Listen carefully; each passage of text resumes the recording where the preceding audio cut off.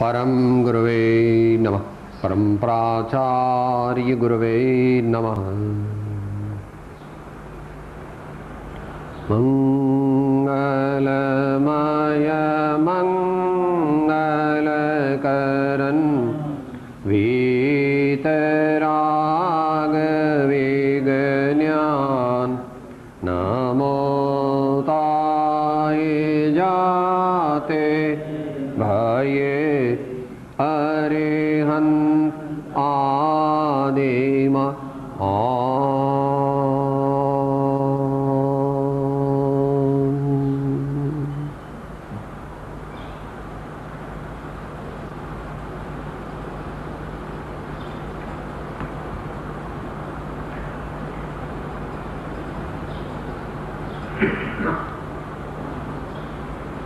સ્વાધ્યાયમાં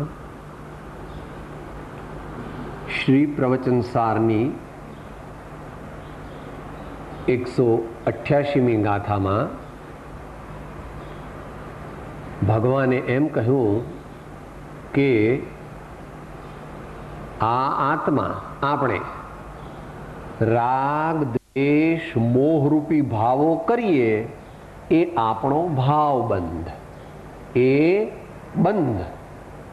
અને એવો ભાવ થતાં વિશ્વની વ્યવસ્થા જ એવી છે કે તે વખતે નવા કર્મો આવે અને આત્માને સાથે એનો સંશ્લિષ્ટ સંબંધ થઈ જાય. એટલે હૈડકી ગાંઠ નહીં, પણ કચકચાવીને બાંધેલી ગાંઠ રૂપે આત્મા સાથે કર્મો બંધાઈ જાય આ વાતમાં ઇન્દ્ર, જિનેન્દ્ર, નરેન્દ્ર કાંઈ પણ ફેરફાર કરી શકે નહીં. માટે જેને કર્મ બંધ ન જોઈતો હોય, એટલે કે પરાધીનતા ન જોઈતી હોય, એટલે કે દુઃખો ન જોઈતા હોય તો શું કરવું? રાગ, દ્વેષ, મોહ કરતી વેળાએ સજાગ થઈ જવું.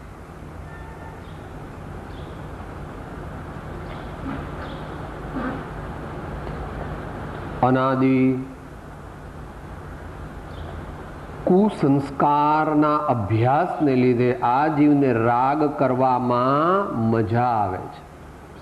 દ્વેષ કરવામાં મજા આવે છે.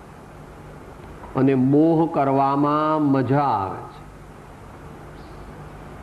આપણે ગુજરાતીમાં એક એવી કહેવત છે. બધાય રસમાં સૌથી સારો રસ કયો? કે સાહેબ, નિંદા રસ. બધાય રસમાં સૌથી વધારે મજા શેમ આવે? સાહેબ, કોઈનું ખોટું બોલવું હોય, કોઈના દુર્ગુણો કહેવા હોય તો કહેવાની બી બહુ મજા આવે, સાંભળવાની મજા આવે અને એને અનેક પ્રકારે ઉત્તેજના આપે. આવા સમયે આપણે જાગૃત થઈએ તો આપણને કર્મબંધ ઓછો થાય. એમ ગઈ એકસો અઠ્યાસીમી ગાથામાં મોહ, રાગ, દ્વેષ જે છે તે ભાવબંધ છે અને તેવા ભાવ કરતાં જીવને જે કર્મરત ચોંટે એ દ્રવ્યબંધ છે એમ નિશ્ચયનયથી કહ્યું હતું. હવે આપણને ઉપસંહાર રૂપ ગાથા કહે છે. હવે આ છેલ્લી ગાથા છે. ત્યાર પછી ભગવાન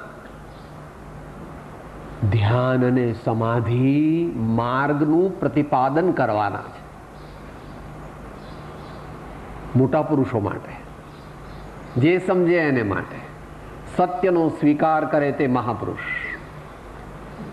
કારણ કે સત્યનો આપણા અહંકારને લીધે, મમકારને લીધે, કુસંસ્કારને લીધે આપણે સ્વીકાર કરી શકતા, અંતરથી સ્વીકાર નથી કરતા. હા હા કહીએ છીએ, પણ અંતર, આપણું અંતર કહે છે કે ઠીક હવે, આ તો બધું આવું લખ્યું હોય શાસ્ત્ર. આવું મોટા પુરુષો કરે, આ તો ભગવાન કહે, હશે.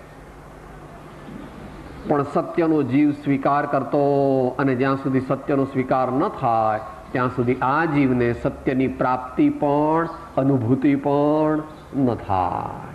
તો હવે છેલ્લી ગાથા, ઉપસંહાર રૂપ એકસો ને નેવ્યાશીમી ગાથા. આપણે જસ્ટ એનો પ્રારંભ કર્યો તો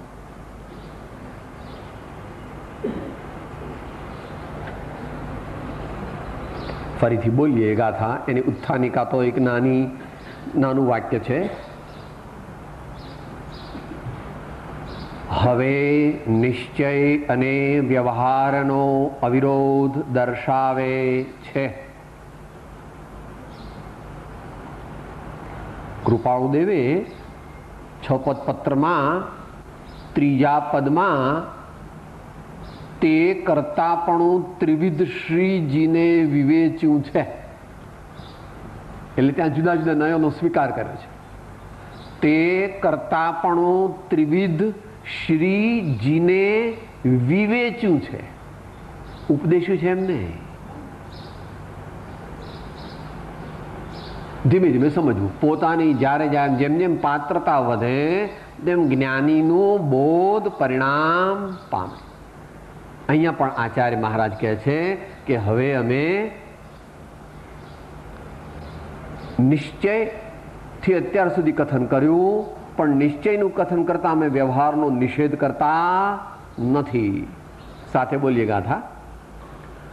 ગુજરાતી પદ્ય શ્રી પ્રવચન સાર એકસો નેવ્યાશી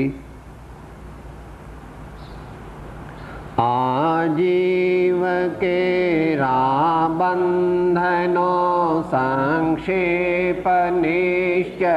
भाखियो।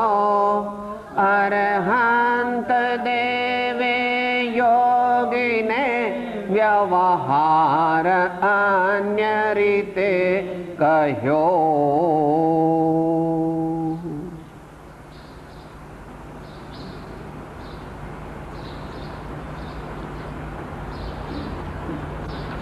આ પૂર્વોક્ત રીતે જીવોના બંધનો સંક્ષેપ નિશ્ચયથી અરહંત દેવોએ યતિઓને કહ્યો છે વ્યવહાર અન્ય રીતે કહ્યો છે ફરીથી શું શબ્દ વાપરે છે?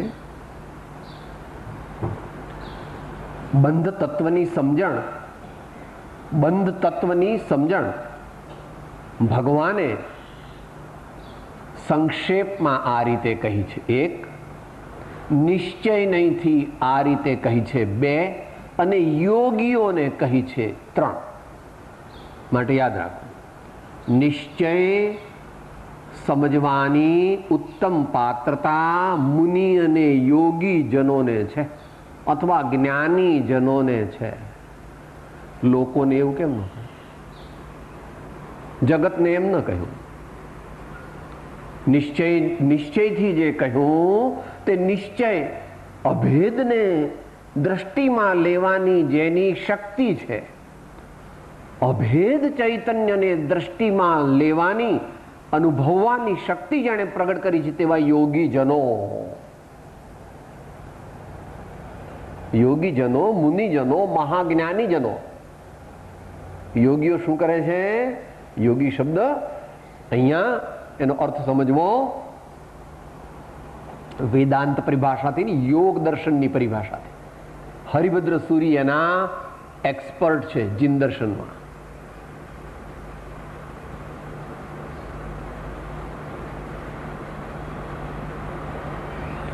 જે આ આત્માને પરમાત્મા સાથે જોડે તેનું નામ યોગ. જે આ આત્માને પરમાત્મા સાથે જોડે એનું નામ યોગ, યુજ ધાતુ પરથી છે. યુજ એટલે સંયોજન કરવું. સંયોજન કરવું. આત્માનું એટલે આપણું ઉપયોગ દ્વારા પરમાત્મા સાથે અનુસંધાન કરવું તે ઉત્તમ સવિકલ્પક યોગ છે. અને પોતાના જ શુદ્ધ જ્ઞાયક સાથે અનુસંધાન થઈ જાય તે નિર્વિકલ્પક યોગ છે. આગળની ગાથાઓમાં હવે ધ્યાન અને યોગનું સ્વરૂપ બતાવવાના છે. આ ઉપસંહાર રૂપ ગાથા છે. આમ સામાન્ય વાંચી ગયા છીએ ફરીથી. ટીકા. રાગ પરિણામ જ આત્માનું કર્મ છે તે જ પુણ્ય પાપ રૂપ દ્વૈત છે. રાગ પરિણામનો જ આત્મા કરતા છે, તેનો જ ગ્રહનાર અને છોડનાર છે. આ શુદ્ધ દ્રવ્યના નિરૂપણ સ્વરૂપ નિશ્ચય નહીં છે. અને પૂતગલ પરિણામ આત્માનું કર્મ છે. તે જ પુણ્યપાપ રૂપ દ્વૈત છે. પૂતગલ પરિણામનો આત્મા કરતા છે. તેનો ગ્રહનાર અને છોડનાર છે. આવો જે નય તે અશુદ્ધ દ્રવ્યના નિરૂપણ સ્વરૂપ વ્યવહાર નય છે. આટલે સુધી આપણે વિચાર્યું. બંને આ નયો છે.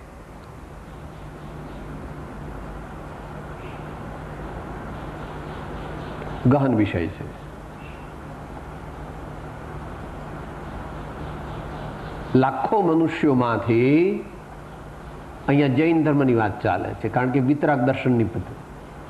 હજારો લાખો જૈન ધર્માવલંબીમાંથી કોક વિરલ પુરુષ જ તટસ્થપણે બંને નયોને જેવા જ્યાં છે તેવા ત્યાં સ્વીકારી શકે.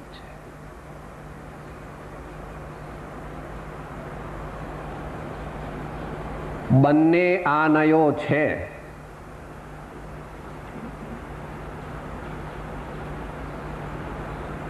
સમયસારમાં એટલા માટે પ્રારંભમાં એ વાત આચાર્ય મહારાજે લીધી છે અને એના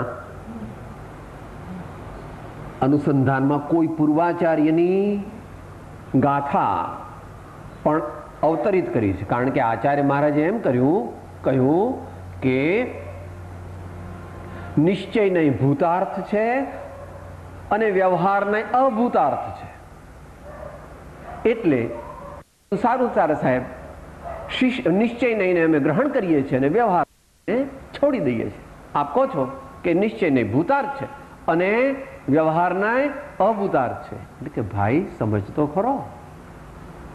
આવું વસ્તુનું મૂળ સ્વરૂપ તને સમજાવીએ છીએ. મારે ભગવાનના દર્શન કરવા છે, પણ ભગવાન પહેલા માળે છે. હવે ભગવાનના દર્શન કરવા હોય તો નિસરણી ચડવી પડે અને પછી નિસરણી છોડવી પડે અને પછી ભગવાનની સમક્ષ જવું પડે તો ભગવાનના દર્શન થાય. આ નીચે ઊભો ઊભો શું કહે છે? આખરે તો નિસરણી છોડવાની જ છે ને. એટલે મેં છોડી દીધી. હવે હું બેઠો છું. ભગવાન ના આવવું હોય તો આવે. તો આપણે કઈ એવા નથી મહાપુરુષ શબરી જેવા? આપણે કઈ ચંદનબાળા જેવા નથી કે ભગવાન આપણે ઘેર આવે? અપવાદરૂપ મહાપુરુષો છે. શબરીને ઘેર રામ આવે ચંદનબાળાને ઘેર, મહાવીર આવે, પણ આપણે ઘેર આવે ખરા, પણ ક્યારે? જ્યારે આપણે એવા થઈએ, માટે આપણે તો પહેલા સીડી ચડવી જોઈએ.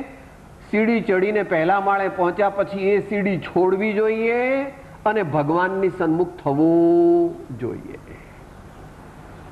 એમ નિશ્ચયને પામવા માટે જે સદવ્યવહાર છે તેનું વિધિપૂર્વક અને સમીચીનતાથી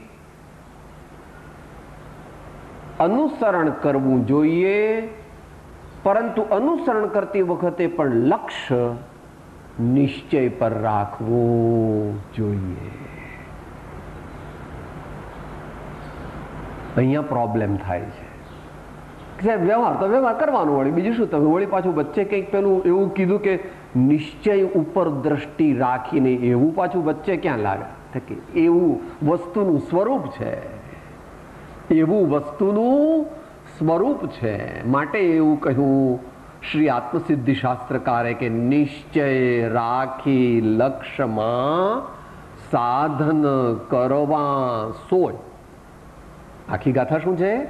નિશ્ચય વાણી સાંભળી, સાધન ત્યજવા નોય. નિશ્ચય રાખી લક્ષ્યમાં સાધન કરવા સોય. આ તો પ્રાસંગિક આવ્યું એટલે લીધું. બાકી કંઈ એક બે વાર સાંભળવાથી આ વાત કંઈ બેસે એવી છે નહીં.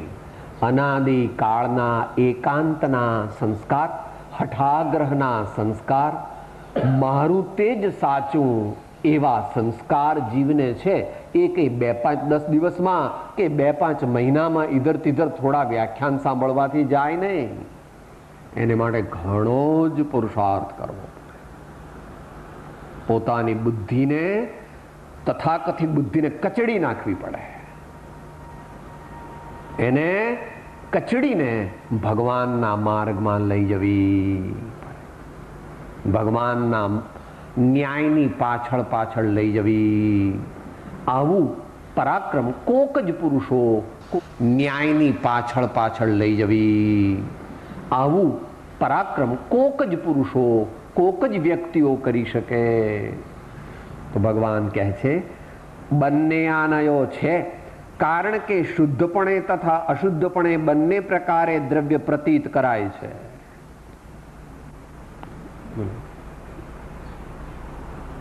કે એ કેવી રીતે? અહીંયા દ્રવ્યનો અર્થ આખું આખું દ્રવ્ય લેવું. દ્રવ્ય ગુણને પર્યાય, એમ લેવા. આખું દ્રવ્ય લેવું. જો એકલું દ્રવ્ય લો, તો અશુદ્ધિ શુદ્ધિનો પ્રશ્ન નથી. દ્રવ્યાર્થિક નહીંની અપેક્ષાએ તો આત્મા શુદ્ધ છે. પરંતુ એકલો દ્રવ્યાર્થિક નહીં રૂપી એકલું દ્રવ્ય આ દુનિયામાં હોતું નથી. દ્રવ્ય ગુણ પર્યય યુક્તમ સત. એકલું દ્રવ્ય આ વિશ્વમાં સર્વજ્ઞ ભગવાને સ્વીકાર્યું નથી. એકલા ગુણો પણ સ્વીકાર્યા નથી. અને એકલી અવસ્થા પણ સ્વીકારી નથી. હવે અહીંયા આગળ જે છે, કારણ કે શુદ્ધપણે અને અશુદ્ધપણે બંને પ્રકારે દ્રવ્ય પ્રતીત કરાય છે. અહીંયા પ્રતીત કરાય છે એ આગળ લઈ જવું. પ્રતીત કરાય છે, જણાય છે અને અનુભવાય છે. એમ ત્રણે અર્થ લેવા.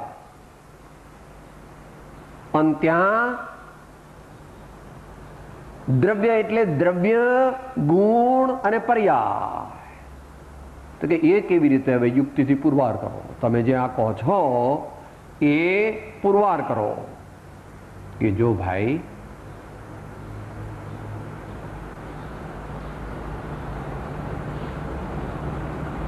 એકલા શુદ્ધ દ્રવ્યને જ માને છે, તેને માટે તો બંધ મોક્ષ છે જ નહીં. એકલા દ્રવ્યાર્થિક નહીને જ માને છે, એને માટે બંધ મોક્ષનો પુરુષાર્થ છે નહીં. એને માટે આ બધું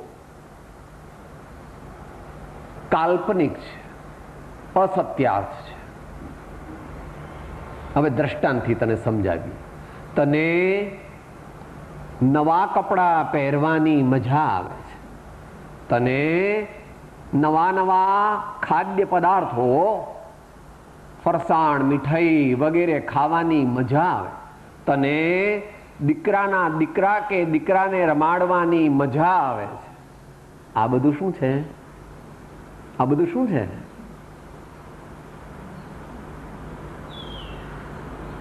છોકરામાંથી સુખ નથી આવતું. ફરસાણ ને મીઠાઈમાંથી સુખ નથી આવતું. નવા કપડામાંથી સુખ નથી આવતું. કે સાહેબ, મને પણ આમ ચોખ્ખું આવે છે ને, જુઓ ને. મન તો ચોખ્ખું આવે આવે છે ખરું. એ ક્યાંથી આવે છે એ તને ખબર નથી. એ મારા સ્વામી જાણે છે. ક્યાંથી આવે છે એ તને ખબર? તારી પોતાની વિકારી પર્યાયમાંથી કાલ્પનિક સુખ આવે. છોકરાએ સુખ નથી આપ્યો? આ મારો દીકરો કે દીકરાનો દીકરો છે એની અંદરમાં જે કલ્પના થઈ, એનાથી સુખ ઉપજે. સુખ એટલે એ સુખ ઇન્ટુ ઇન્વર્ટેડ કોમા અજ્ઞાની ઉપજે તે કેવું હોય? અજ્ઞાનમય સુખ છે. એમ એ મીઠાઈને ફરસાણમાંથી સુખ નથી આવ્યું.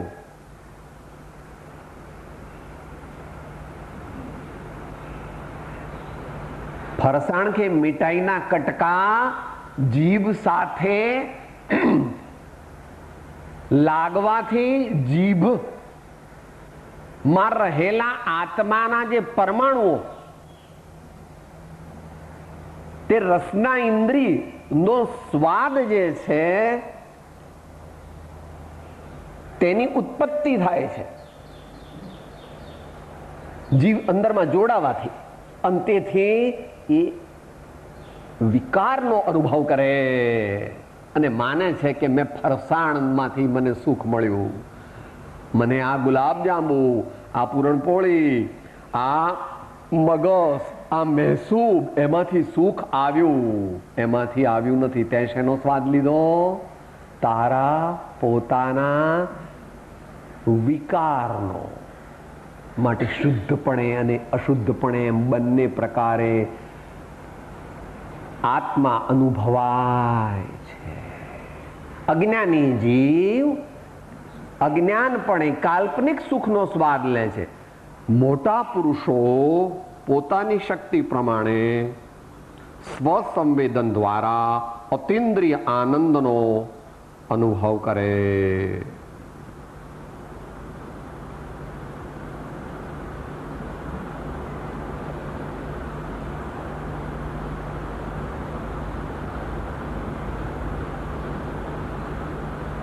માટે એમ કહ્યું કે શુદ્ધ નયનો અનુભવ તે મોક્ષ માર્ગ છે.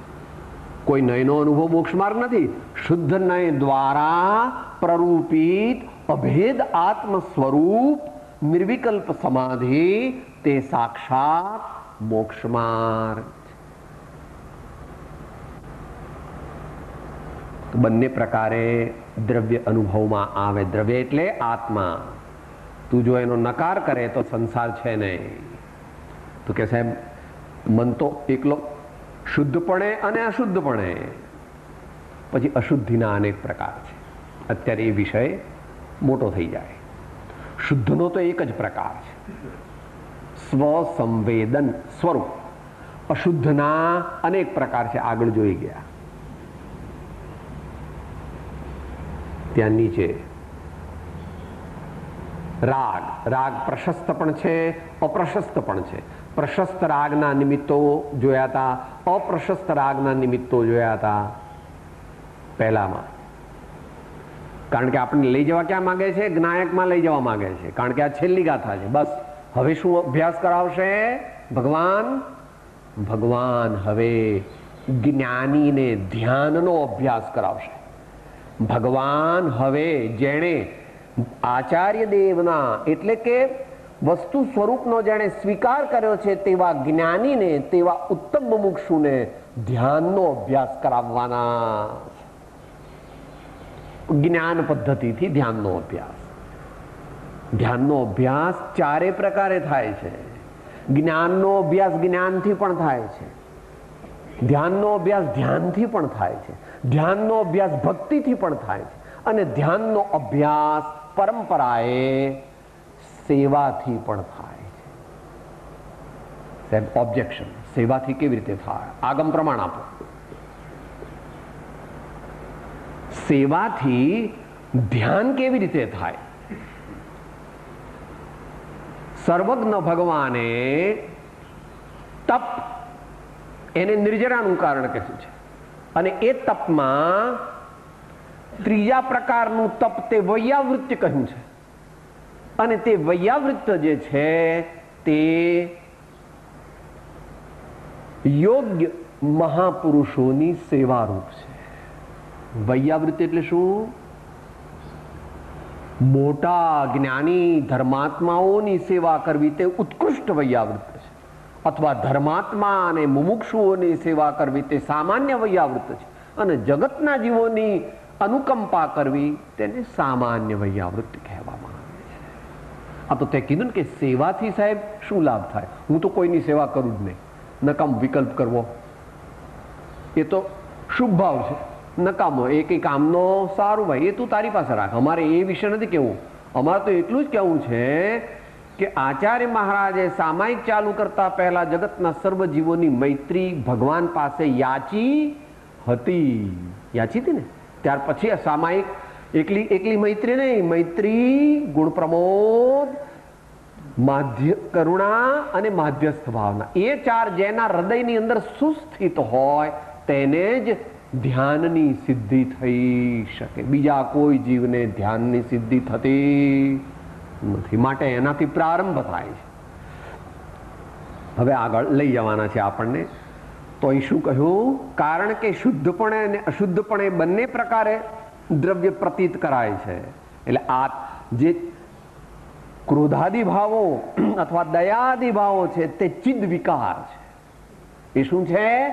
ચિદ વિકાર છે. ચૈતન્યમાં થતા વિકાર, જેનો તને સ્વાદ આવે ત્યારે તને મજા આવે છે. પણ એ મજા નથી પ્રભુ, સજાનું કારણ છે. પણ જીવને જીવને અનાદિકાળના કુસંસ્કારને લીધે વિભાવ ભાવોમાં મજા આવે.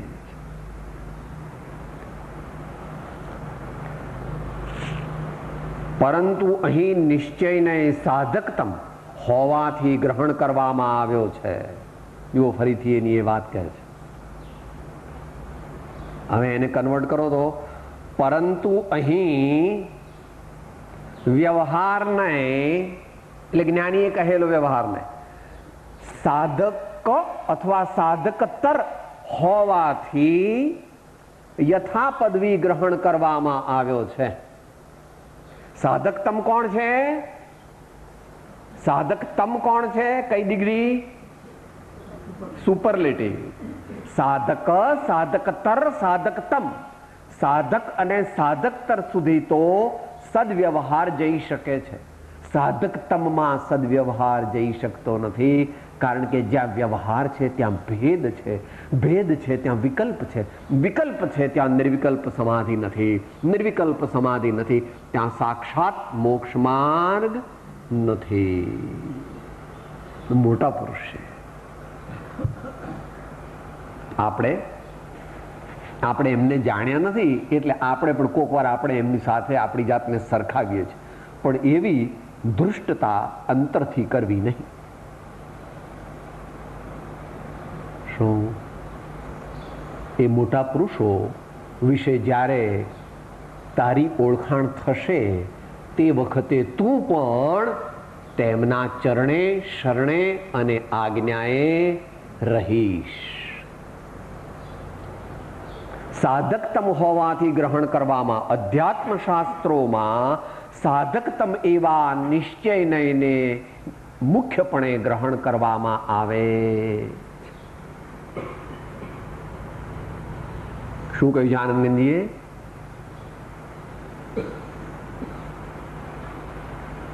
શબ્દ અધ્યાત્મ ઠવણ અધ્યાત્મ નામ અધ્યાત્મ છંડો રે ભાવ અધ્યાત્મ નિજ ગુણ સાધે તો તે હસુરઢ મંડો રે શ્રી શ્રેયાંસ જીન અંતરયામી આતમ રામી નામી રે અધ્યાત્મ પદ પૂરણ પામી સહજ મુક્તિ ગતિ ગામી રે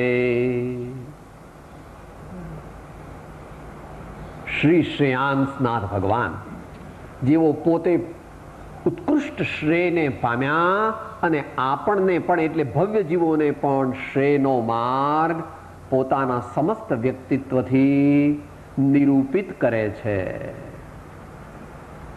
સાધકતમ ઉત્કૃષ્ટ સાધક હોવાથી ગ્રહણ કરવામાં આવ્યો છે.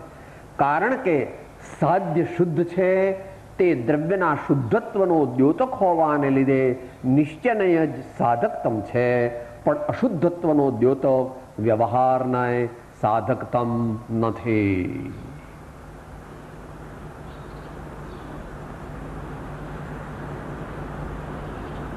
ભૂમિકા અનુસાર સમજી લેવું.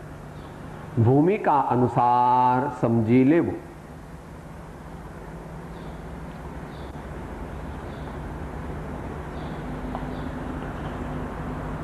જે ગૃહસ્થ દાન ન દે, તે નીચ ગતિએ જાય. અને જે મુનિ પૈસાનું દાન દે, તે પણ નીચ ગતિએ જાય.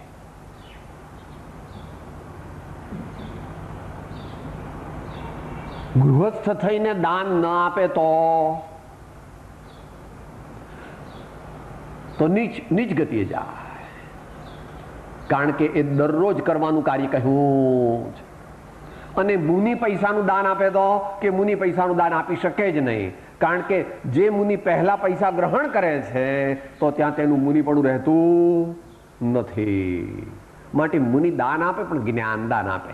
પણ જ્ઞાનદાન એટલે આવું જ્ઞાનદાન નહીં. ભાવ જ્ઞાન દાન ભાવ વ્રતદાન ભાવશીલ દાન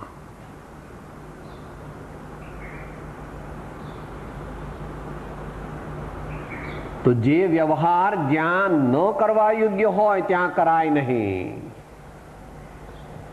પરંતુ નીચી કક્ષાએ હોય અને સર્વ પ્રકારના સદવ્યવહારને છોડી દે તો તેને મોક્ષ માર્ગની પ્રાપ્તિ થઈ શકે. પણ મોટો વિષય છે. અધ્યાત્મની અંદર શુદ્ધ નિશ્ચય નહીને મુખ્ય કહ્યો છે કારણ કે તે સાધકતમ છે. અને માટે ત્યાં શબ્દ પણ શું વાપર્યો હતો ભગવાને મૂળ ગાથામાં તદ્દન મૂળ ગાથા જોવી તો જુઓ. મૂળ ગાથા એટલે પ્રાકૃત ગાથા. જદીણમ યતિ નામ યમી જનોને મુનિ કોને કહ્યો છે? સામાન્ય માણસોને ભગવાને આ કહ્યો નથી. કોને કહ્યો? યોગીઓને કહ્યો છે. માટે જેવું પાત્ર તેવો ઉપદેશ ભગવાને કહ્યો. જેટલી પોતાની પાત્રતા વધતી જાય, એમ પોતે અભેદની દ્રષ્ટિ, અભેદનો લક્ષ્ય અને અભેદનો અનુભવ કરી શકે. પરંતુ નીચી દશામાં અભેદનો અનુભવ કરવા જાય, તો વિકલ્પની જાળમાં માત્ર ફસાયેલો રહે. શુદ્ધ આત્મ સુધી પહોંચી શકે. એને માટે ક્રમ જે છે તે ક્રમ સ્વીકારવો. માટે ગુણસ્થાનની પણ વ્યવસ્થા વિતરાગ દર્શનમાં છે. ચૌદ ગુણસ્થાન કયા છે તે ચૌદ ન સમજવા, અસંખ્યાત છે. બધા જ્ઞાની પણ સરખા નથી, બધા સાચા શ્રાવક પણ સરખા નથી અને બધા સાચા મુનિ પણ સરખા નથી. તો અહીં આચાર્ય કહ્યું કે નિશ્ચય નહીં જે છે તે સાધકતમ છે અને વ્યવહાર નહીં જે છે તે અશુદ્ધત્વનો દ્યોતક હોવાથી સાધકતમ નથી. એમ આટલે સુધી બોધ દીધો. હવે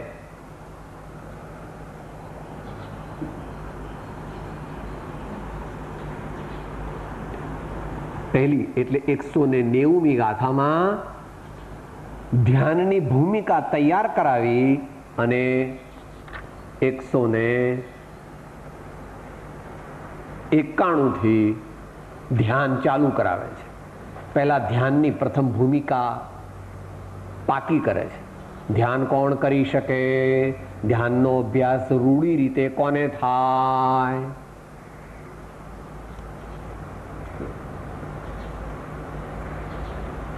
કાં તો ભેદ જ્ઞાન થયું હોય તેને, અથવા જેને સાચા ભેદ જ્ઞાનનો લક્ષ્ય થયો હોય તેને.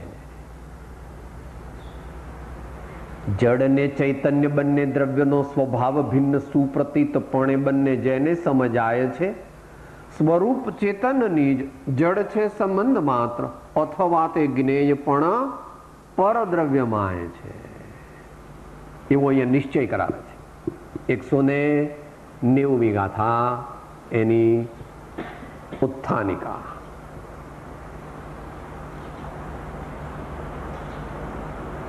હવે અશુદ્ધ નહીંથી અશુદ્ધ આત્માની પ્રાપ્તિ જ થાય છે એમ કહે છે.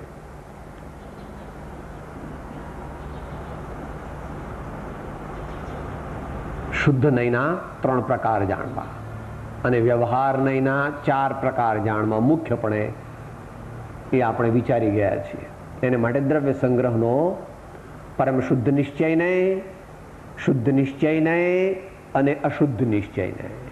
અત્યારે એ બધું લેતા નથી આપણે. અહીં કહે છે કે જે જીવ દેહને અને દેહાશ્રિત પદાર્થોને પોતાના માને છે એ અશુદ્ધ વાળો છે. અને જે જીવ દેહને અને દેહાશ્રિત પદાર્થોને પોતાના નથી માનતો એ શુદ્ધ નયનું અવલંબન લઈ શકે. હવે એ મૂળ ગાથા કહે છે. સાથે બોલીએ.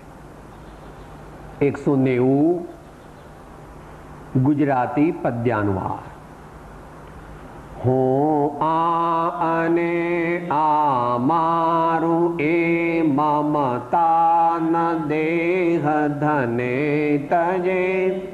તે છોડી જીવ સામાન્યને ઉન માર્ગનો આશ્રય કરે.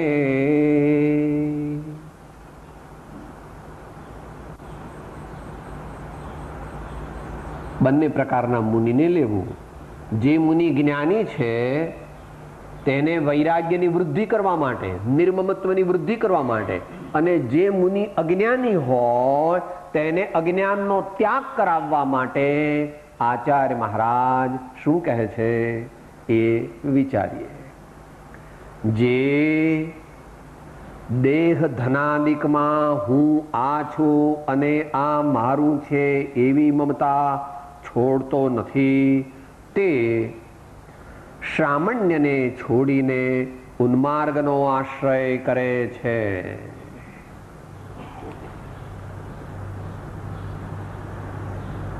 જે અહીંયા મુખ્યપણે મુનિને ઉદ્દેશીને ઉપદેશ છે. ગૌણપણે તે અન્યને પણ સમજી લેવો.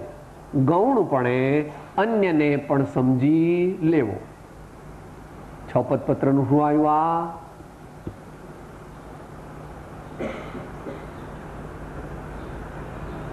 છપત પત્ર અનાદિ કાળથી ઉત્પન્ન થયેલો અહમ ભાવ મમતો ભાવ તે નિવૃત્ત થવાને અર્થે જ્ઞાની પુરુષોએ આ છ પદની દેશના પ્રકાશી એ અહીંયા પાકું કરાવે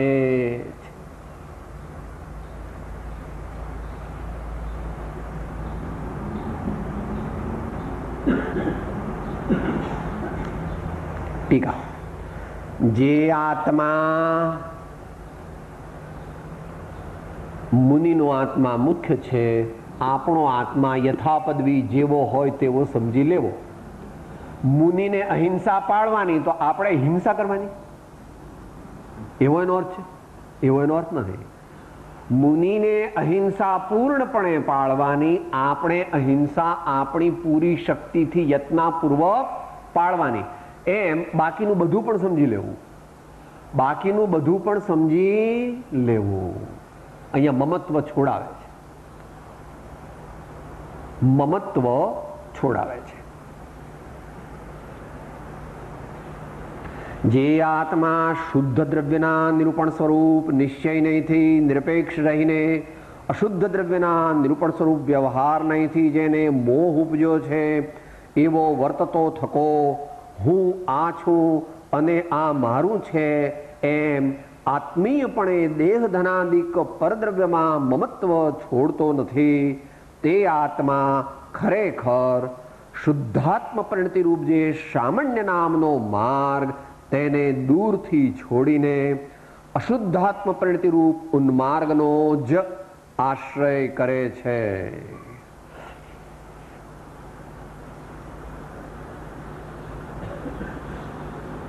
નિશ્ચયને કોનો આશ્રય કરે છે? શુદ્ધ દ્રવ્યનો. શુદ્ધ દ્રવ્યનો. આત્મા જ્ઞાન સ્વરૂપ છે. આત્મા દર્શન સ્વરૂપ છે. આત્મા ચારિત્ર સ્વરૂપ છે. એમ જે કહે છે તે શુદ્ધ નિશ્ચયને છે. આત્માએ ક્રોધ કર્યો, આત્માએ અભિમાન કર્યું આત્માએ લોભ કર્યો. આવું બધું જે કહે છે તે અશુદ્ધ નિશ્ચય નહીં અથવા કોઈ વાર એને વ્યવહાર નહીં પણ કહેવામાં આવે એ યથાપદવી સમજવું. તો ક્રોધાદિ કરવા જેવા છે, લોભાદિ કરવા જેવા છે, નથી કરવા જેવા. તો આપણે ન કરવા હોય તો આપણે શરીરને પોતાનું માનીએ તે શું છે? શરીર પ્રત્યેનો રાગ શરીર મારું છે એમ જે માને છે તે જીવ અજ્ઞાની છે કારણ કે શરીર તે સ્વદ્રવ્ય છે કે પરદ્રવ્ય શરીર પરદ્રવ્ય છે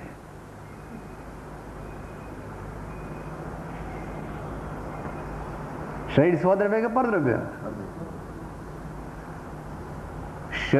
શરીરમાં સ્પર્શ, રસ, ગંધ, વર્ણ, શબ્દ આદિ છે.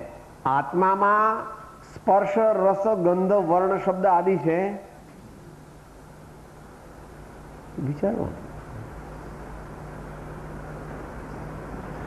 ભગવાનની વાણી સારી લાગતી નથી. જ્ઞાનીની વાણી જીવને રુચિકર થતી નથી. પણ ભગવાન યુક્તિથી પણ સમજાવે છે. અનેક રીતે પહેલા પદમાં શ્રી આત્મસિદ્ધિ શાસ્ત્રમાં સાદી ભાષામાં સમજાવ્યું છે ભાઈ. ઘણું બધું કહ્યું. છતાં ન માને તો પછી પોતે શું કહે છે? ઘટપટ જાણ જાણતો તેથી તેને માન, જાણનાર તે માન નહીં કહીએ કેવું જ્ઞાન. અને છેલ્લે પછી હાથ પણ ખંખેરી નાખ્યા. આત્માની શંકા કરે, આત્મા પોતે આપ શંકાનો કરનાર તે અચરજે હમા એટલે સહજાનંદજી મહારાજ, જ્યારે મનુષ્ય હોય ને, બધી વસ્તુના વખાણ, સંસારી જીવ હોય સામાન્ય, તો શું કે સાહેબ જો આ મારો બંગલો, આ અહીંનો બંગલો, હો. એવી આબુમાં પણ છે સિમલામાં પણ છે, મહાબળેશ્વરમાં પણ છે. મુંબઈ, કલકત્તામાં તો ફ્લેટ હોય જ આપણે વેપાર એટલે ત્યાં વારંવાર જવાનું આ મારા ત્રણ દીકરા છે. અમારી દીકરી છે, આ મારા જમઈ છે. આવું બધું બોલે છે, આવું બધું માને છે બધું એનું બધું બતાવે છે. ત્યારે જ્ઞાની કહે છે, ભાઈ, શા માટે પોતાની જાતને ગાળો દે છે? જે આ બધું બતાવીને પોતાની મહત્તા સ્થાપે છે, એમ માને છે કે આ બધા છે એટલે હું છું. બાકી તો હું, જો મારા બંગલા હોય તો હું મોટો. જો મારા આ બધા, આ બધી વસ્તુઓ છે એટલે હું મોટો. એ પ્રમાણે ત્યાગીને વિશે પણ સમજી લેવું. જે ત્યાગી શિષ્યથી પોતાની મહત્તા માને, મંદિર બંધાવ્યા તેથી મહત્તા માને, શાસ્ત્ર જ્ઞાનથી મહત્તા માને. એ ઇત્યાદિ પ્રકારે મહત્તા માને તો તે અજ્ઞાની છે. એ પણ માત્ર દેહની ક્રિયામાં મૂર્છિત થઈને પોતાની મહત્તા માને તો તે અજ્ઞાની છે. દેહ છે છે. યોગ રૂપ છે. દેહ છે એક ક્ષેત્ર અવગાહ રૂપ યોગ છે. એને કાય યોગ કહે છે ભાઈ, શરીરની ભાષામાં. એવી રીતે વાણી છે તો એ વચન યોગ છે. પણ એક એ આત્મા નથી. અને એ રીતે શરીર છે, પણ શરીર આત્મા નથી. એમ નિશ્ચય નહીં નો સ્વીકાર અંતરમાં કરે. તેને ધર્મ કહ્યો છે, તેનો અભ્યાસ કરવાનો છે. દેહ હું નથી તેનો અભ્યાસ અને આત્મા હું છું એનો અભ્યાસ. બંને કરાવવાના છે આગળ. અત્યારે માત્ર આની વાત આવી એટલે આત્મ સિદ્ધિની ગાથા જે છઠ્ઠું પદ છે ને, એ બોલી જવી. બોલી જવી એટલે એનો અર્થ અંતરમાં ભાવો સાથે. छूटे देहाद्यास तो नहीं करता तू कर नहीं भोक्ता ते हनो। एज धर मनो म।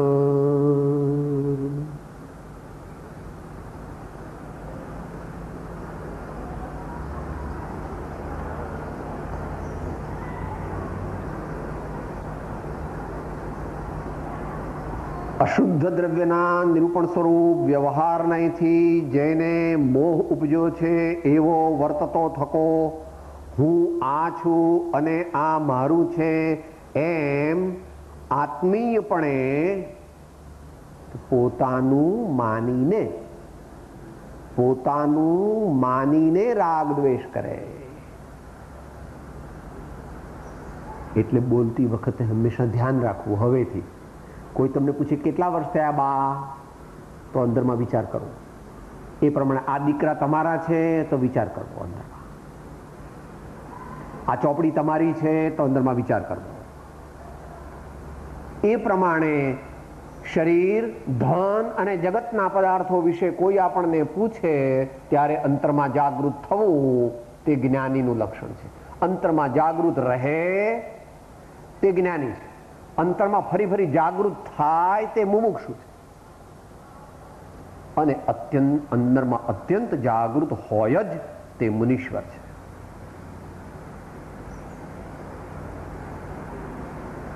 સમાધિ શતકમાં એવું કહ્યું છે. દેહ અને આત્મા બંનેને તારા જ્ઞાનમાં એટલા બધા જુદા પાડી દે કે સ્વપ્નમાં પણ શરીર મારું છે એવું ભાષ્યમાન થાય નહીં. એનું નામ મુનિ, સાચા મુનિ. વિચાર કરવા જેવો છે. મુનિનો પણ વિચાર કરો. મુનિ એટલે શુદ્ધાત્મા. એનો વિચાર કરવાથી આપણું પરમ કલ્યાણ થાય. પણ એકલો વિચાર ન કરવો. વિચાર કરવો અને નમવું. વિચાર કરવો અને પ્રણામ કરવા. કે નહીં?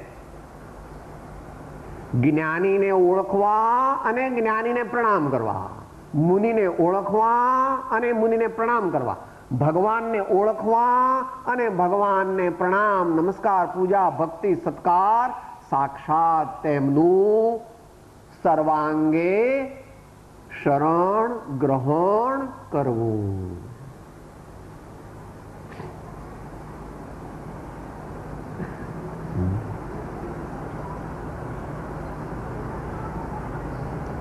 ઇણવિધ પરખી મન વિશ્રામી જીનવર ગુણ જે ગાવે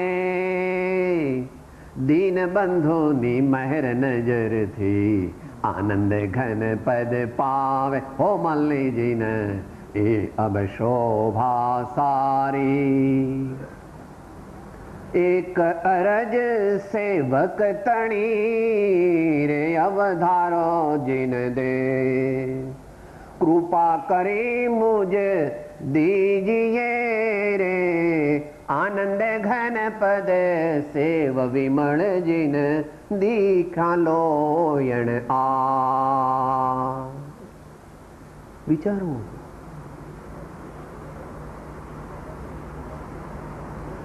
આલંબનમ ભવજલે પતતામ જનાનામ. મોટા યોગીશ્વરો પણ જે પરમાત્માનું શરણ ગ્રહણ કરે છે, તેમના શરણ ગ્રહણ માટે આપણી તો હજુ એવી યોગ્યતા પણ નથી. પ્રયત્ન કરવો જોઈએ, વારંવાર પ્રયત્ન કરવો જોઈએ, પણ ખરો ક્યારે કરી શકે?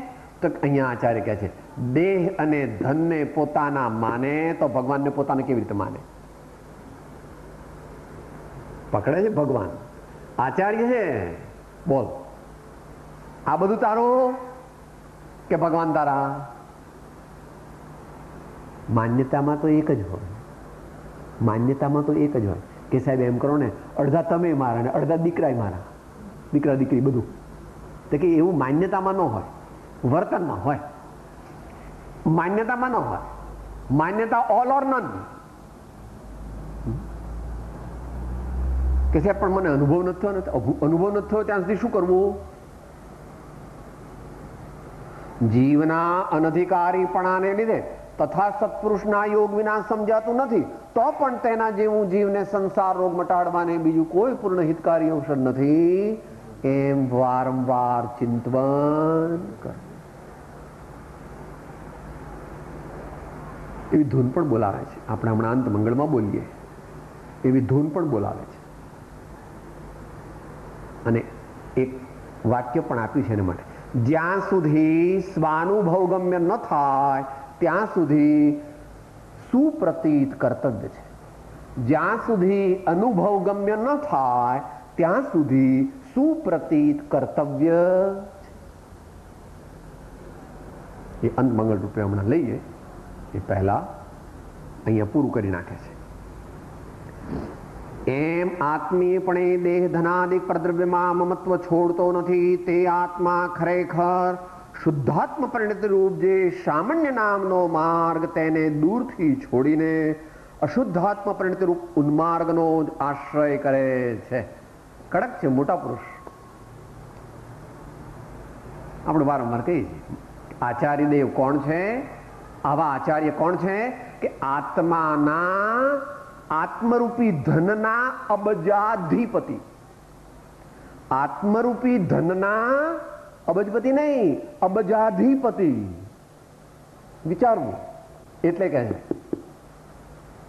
અશુદ્ધાત્માની પરિણતિ તે ઉન્માર્ગ છે. એટલે ભગવાન તો શુદ્ધ પરિણતિના સ્વામી છે. શુદ્ધ પરિણતિનો જ ઉદ્યમ કરે છે.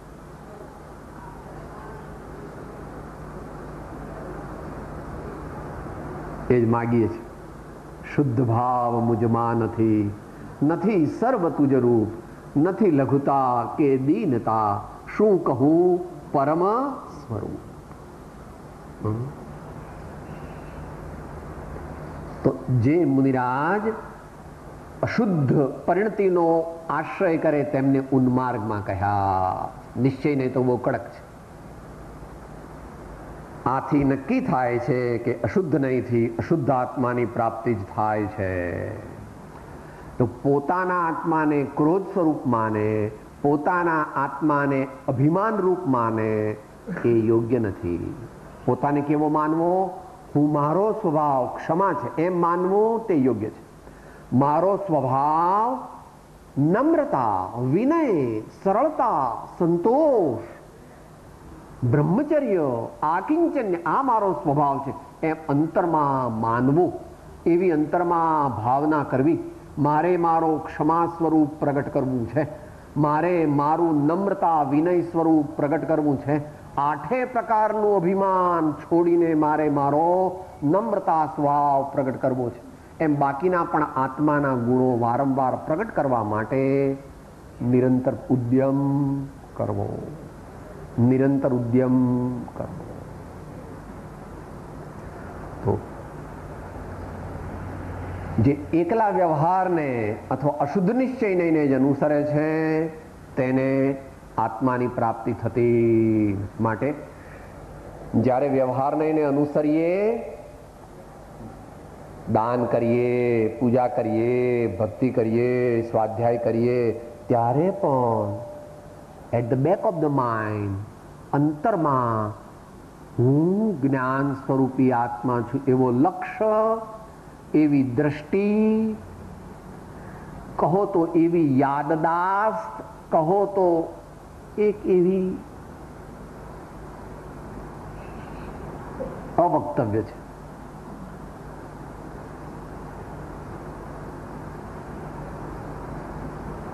an awakened state at the level of subconscious mind an incessant awakened state at the level of subconscious mind એ ગુરુગમથી જાણવી ધીમે ધીમે ધીમે ધીમે ધીમે ધીમે ધીમે પ્રગટે એ વક્તવ્ય નથી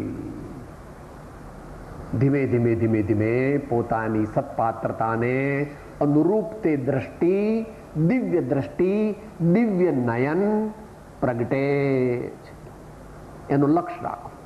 એ પ્રાપ્ત કરવા હંમેશા ઉદ્યમ કરવો. પંતમંગળ બોલીએ, જ્યાં સુધી સાક્ષાત શુદ્ધાત્મા પ્રાપ્ત થયો નથી, ત્યાં સુધી શું કરવું? એ જે અહીંયા વાક્ય કહ્યું વચનામૃતનું જ્યાં સુધી અનુભવગમ્ય ન થાય, ત્યાં સુધી સુપ્રતિત કર્તવ્ય છે. એ બે મિનિટ. પદ્યના રૂપમાં